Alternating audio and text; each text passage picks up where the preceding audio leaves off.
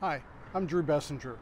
As your mayor, I want to say that I'm proud of the citizens of Clovis and our Clovis government for how we've all pulled together during this crisis.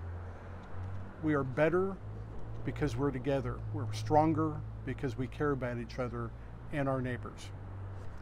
Now, I'm not going to sugarcoat this. Things are going to be difficult, and they could be difficult for a while. But working together and taking care of each other, we can get through this. There have been reports of price gouging in Clovis and in our region.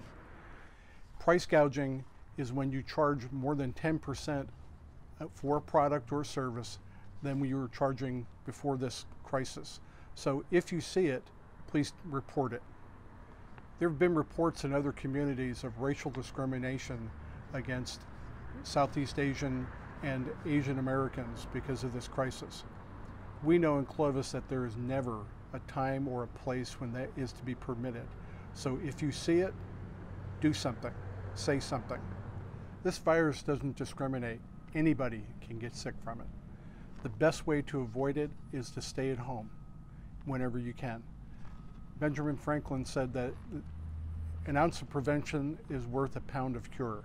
So stay at home, make sure when you're out you maintain social distance between people, make sure that you wash your hands often, clean surfaces, protect your family.